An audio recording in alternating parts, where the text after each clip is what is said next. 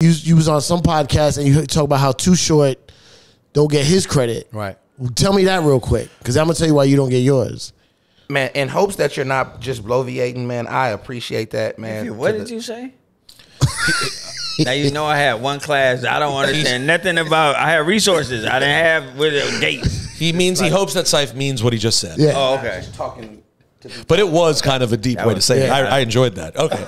just to be in the company of all. I mean, And he does bloviate, so that's Oh, that's a I'm good. bloviate. Premier Yeah, is he's my big favorite producer ever, so to be mentioning him, that was dope. Um, but no, what I was saying was basically about Too Short, man. You know, um,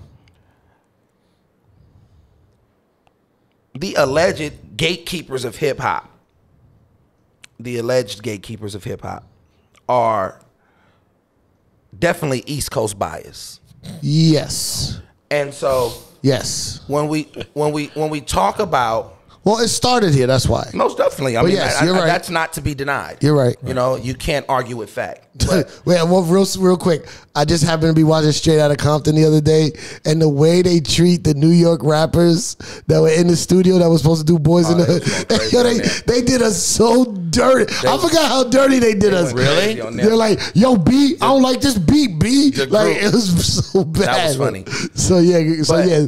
Okay, East so the Coast bias. gatekeepers do have East Coast bias. I would so, agree. so when we look at the Billboard list that was dropped a few months ago, and we see all this, and you know, any you want to get somebody irritated and agitated, create a list. We trust we know. Yeah, we know. And, and so these lists will create the most craziest conversations Yeah. everywhere around the world. But when you see 50 artists, and then you see some of the artists that are on that list, and you don't see Too Short, to me, I'm just like, shred the whole list. Yeah. And the reason being is because how can you exclude someone that has been there since the beginning, that is still relevant mm-hmm. till this day? To this day. Who just got off a tour grossing 20 million, a tour he- who who who's booked every weekend, who's dropped over if he wants to be, yeah, 'cause yeah, he like wants to yeah, be. yeah. If he could chill at home, if He he, has a residency in Las Vegas. He does like like this is too short. Like you look at all of the the times that he's been sampled, all of the time uh, his influence, and then you'd be like, dude, this is somebody that's this. He's a fifty seven year old man who lives like he's twenty two and doesn't care about anything. Well, like it, the, I guess I guess there's a couple ways of looking at this. If you were to have a conversation that was just based on you know straight up quote lyricism, right? I can understand why you wouldn't put Too Short super duper high.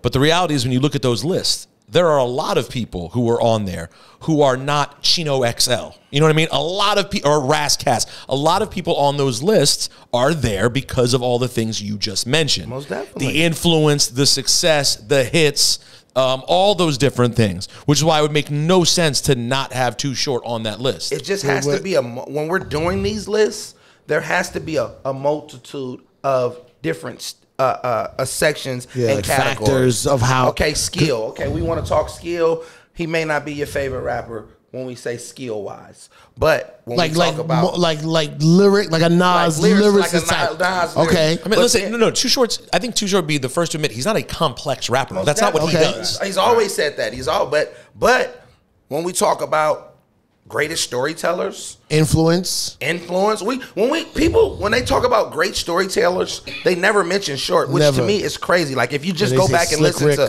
Freaky Tales, he did a seven minute song about Lord knows how many women and just different stories and Yeah. tales about them. Like these tales were crazy, cuss words, invasion of the flat booty bitch. Like the, we have to talk about the things that he was doing at a time where people wasn't even cursing in their raps. Yeah, That was like he was like, "Whoa, you said what? You called a woman a bitch? Whoa!" yeah. Like for him to have the audacity and the courage to do that at these times, to not come with the sugar uh, sugar hill flow, the hit, he didn't come with none of that flow, and he came around that same time, Right. So that flow was like the most bit flow around the world. Everybody wanted to be Kurtis Blow. Everybody wanted to be Sugar Hill. He came with a whole different, like whoa, like, and so And then and then uh he got uh, uh, the influence that he had, the amount of people he put on, Right. The the the the out the trunk hustle, hustle. the hustle of independent before we even used the, The word, word independent. independent. Uh, also, Yeah. also the Sonics musically. Oh, the bass The line. actual bass lines The of Sonics. bass and he was producing a majority of those songs Right. in the infancy stages of his career. Right. He was the actual producer. Yeah. So when we look at that, we look at the fact, okay, we're not good in the skill category. We may not be up there like the Nas's and like the you know the J's and the KRS ones and all of these other great MCs over the time, but where he totally has them whooped is let's talk about sales. Let's talk about who did who went platinum more times, who went gold more times, who did more collaborations, No, um, who put out more records, who had who made more said money. he had- who had more fun. Or, yeah, said well, he and had also song had with, an with- influence. he's the only rapper that had a song with Biggie, Pac, Pac, Jay Z, Jay, uh, Pimp C, MC, like like all of them. Dogg. Yeah. Well, and, and when you think about the way people, and I, this will, I, I always tread lightly on this subject. When you think about the way people grade Pac, they give Pac the extra scores that you're talking about. Yes. because Pac, I always, and I know people get mad about this. Here we go. Pac and Biggie, you cannot compare them lyrically because Biggie was on, in terms of the rapidy rap skill, Yeah. Biggie's on a different level.